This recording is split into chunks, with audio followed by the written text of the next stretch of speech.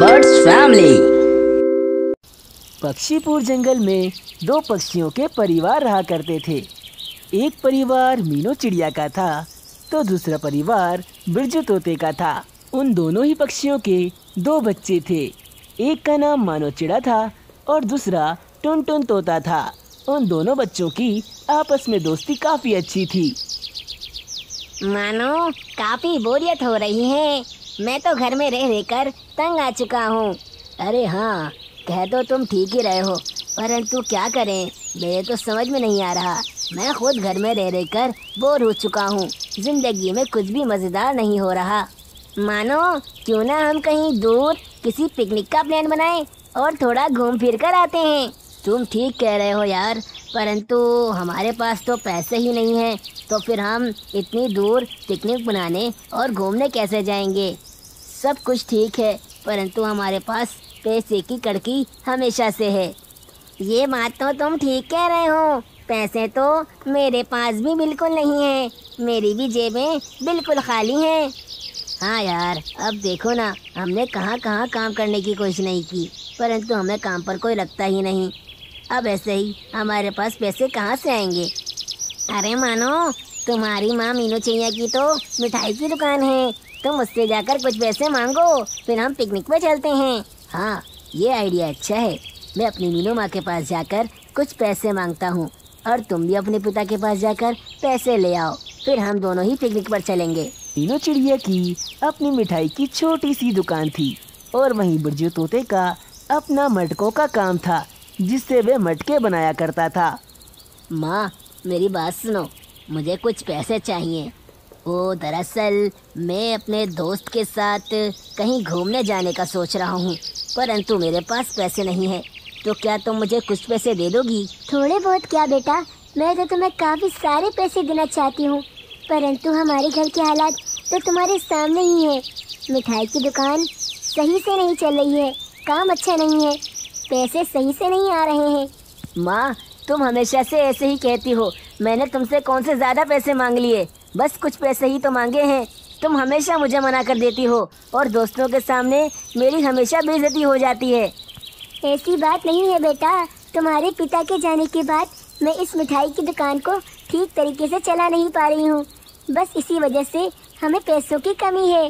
हाँ तुम ठीक कह रही हो। जब तक पिताजी थे सब कुछ ठीक था। मुझे किसी चीज़ की कोई भी कमी नहीं होती थी। परंतु जब से पिताजी गए हैं मुझे हर चीज़ की कमी होती है। मानो चिड़ा पैसे न मिलने की वजह से काफ़ी उदास था। फिर वो उदास होता हुआ अपने दोस्त टुनटुन के पास जाता है। अरे टुनटुन, मेरी माँ ने तो मुझे पैसे नहीं दिए। हमारा मिठाई का काम ठीक नहीं चल रहा, इसलिए माँ के पास पैसे नहीं हैं। अरे हाँ तुम ठीक कह रहे हो। मेरे पिता से भी मैंने पैसे मांगे, परंतु उन्होंने भी मना कर दिया। हमारा काम भी कुछ ज़्यादा खास नहीं चल रहा। ये पैसों की कमी यार, बहुत हो गई है। हाँ काश हमारे पास अभी कुछ काम होता तो हमें पैसों की कमी बिल्कुल नहीं होती।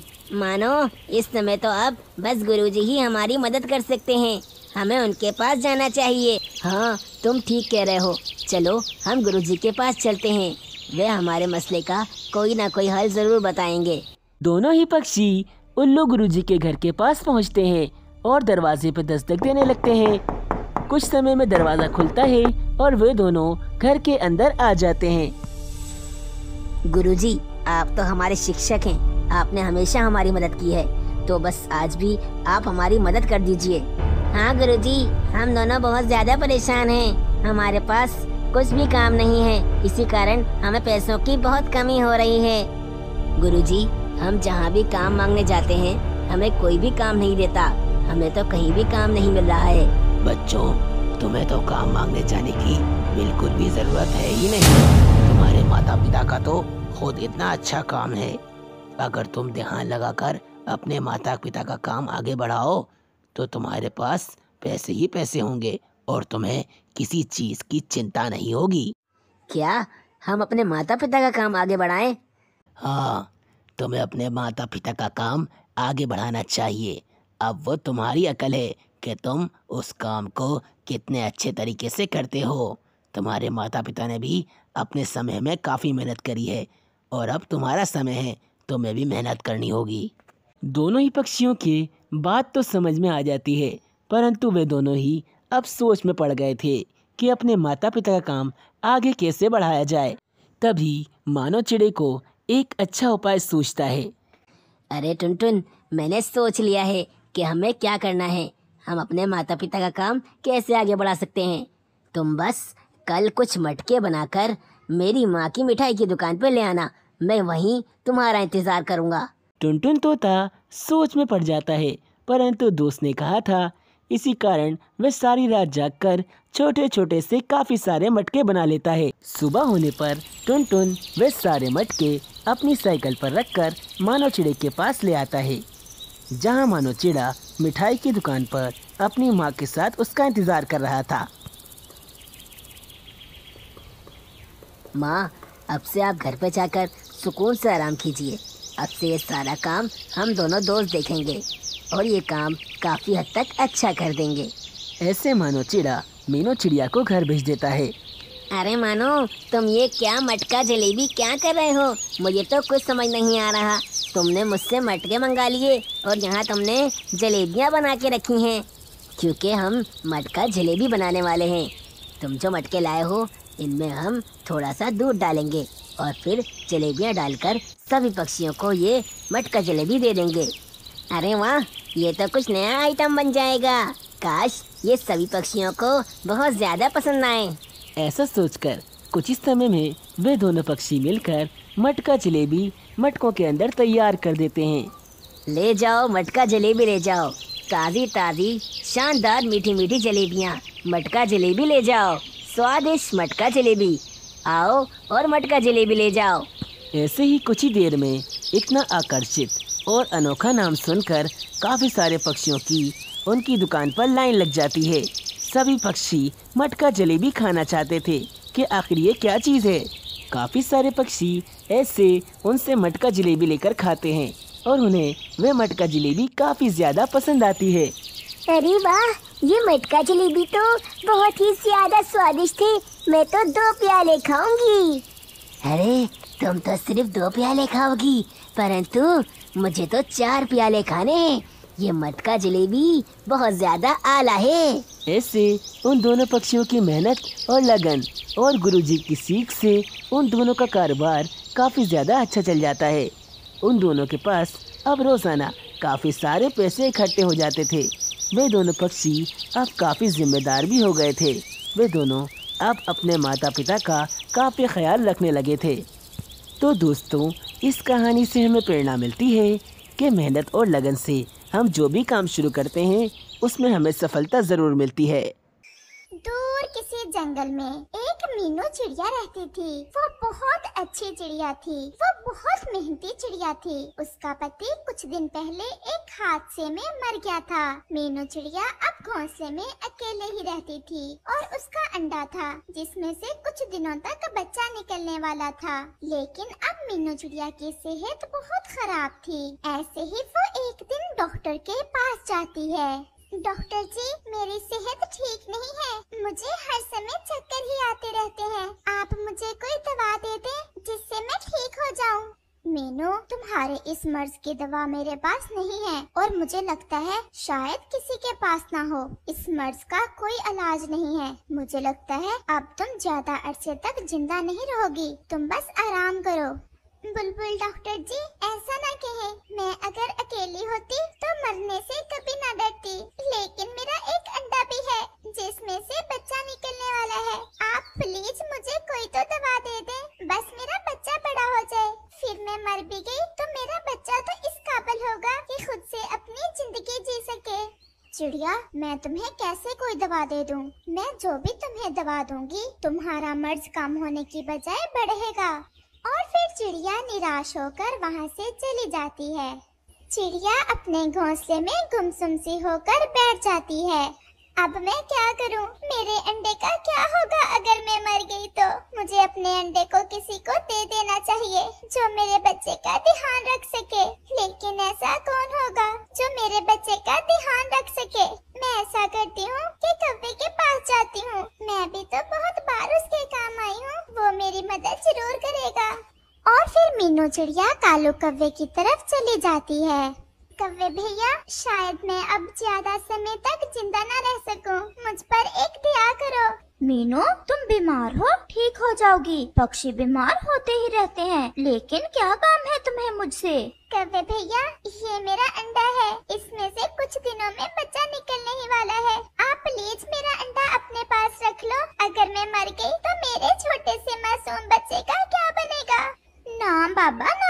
अगर कोई और काम होता तो शायद मैं मान ही जाती। इतनी बड़ी ज़िम्मेदारी हम नहीं ले सकते। मेरे तो अपने अंडे से बच्चा निकलने वाला है। वैसे भी तोते के साथ तुम्हारे अच्छे संबंध हैं। तुम ये अंडा तोते को ही दे दो।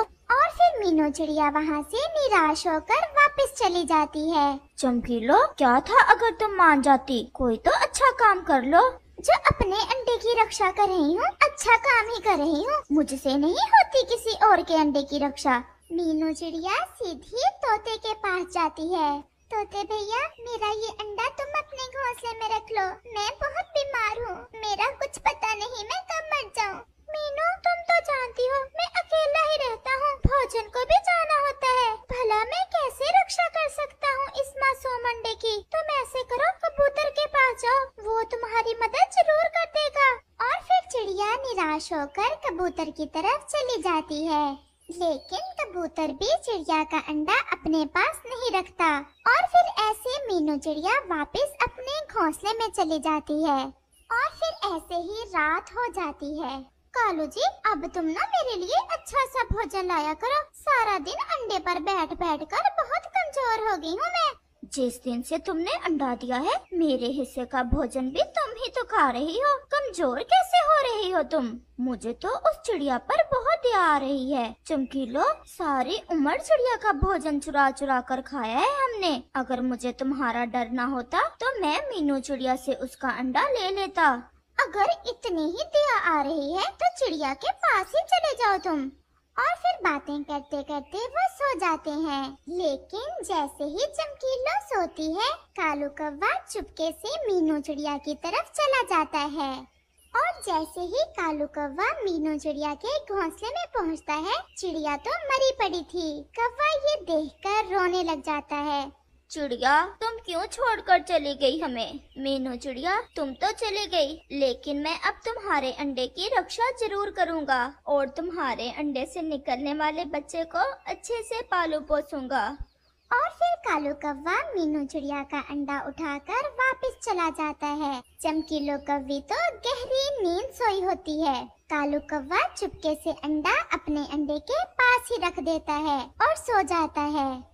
और फिर सुबह हो जाती है। लेकिन कालू कौवा अभी तक सोया हुआ था। ओए कालू ओए कालू, उठो। दूसरा अंडा क्या तुमने दे दिया? उठो जल्दी से कालू।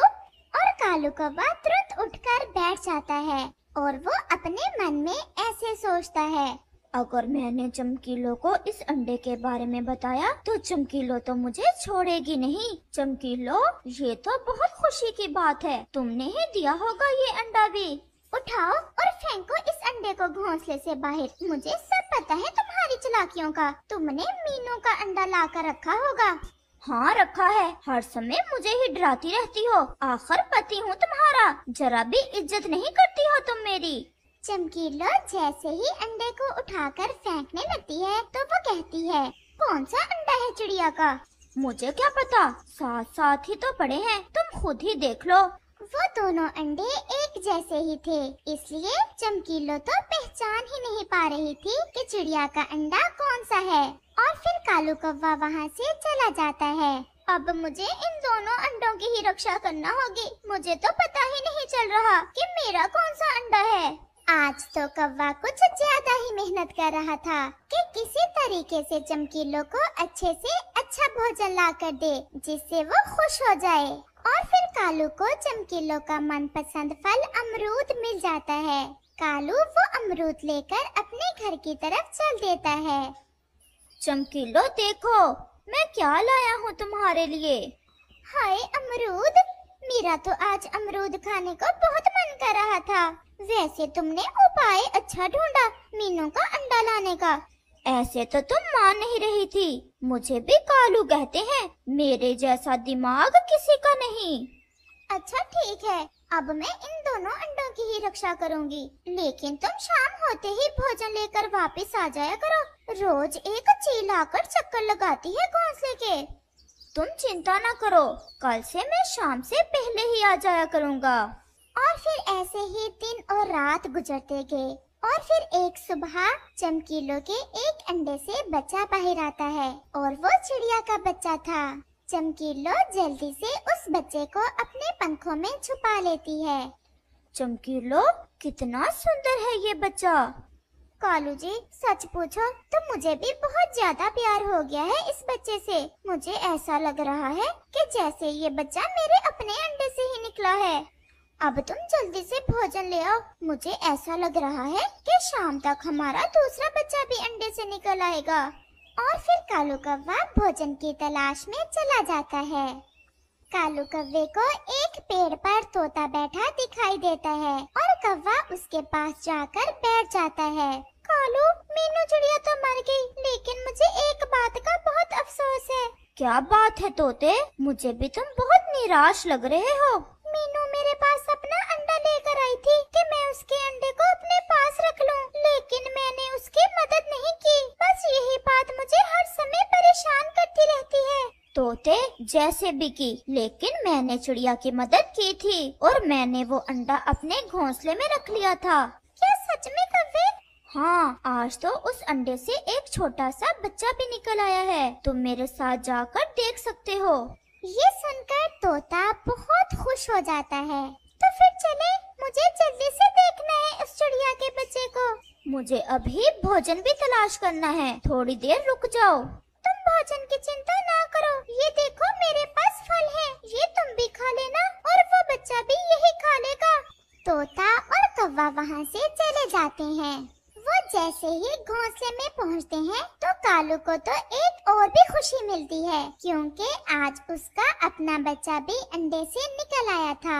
कालू, देखो, हमारा बच्चा कितना सुंदर है। बिल्कुल मेरे जैसा ही लग रहा है। वो सब बहुत खुश थे। कालू और चमकीलो मैं हर रोज शाम को फल दे जाया करूँगा। तुम्हारे लिए इस चिड़िया के बच्चे के लिए। शायद ऐसे ही मेरे मन को थोड़ी शांति मिले। और आप दोनों ने बहुत अच्छा किया, जो रक्षा की उस चिड़िया के अंडे की। और फिर ऐसे तोता अपने घर चला जाता है।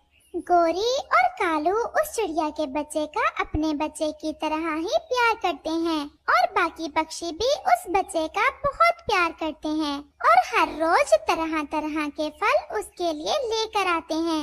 अब तो चमकीलो कव्वी और कालू कव्वा कुछ ज़्यादा ही खुश थे।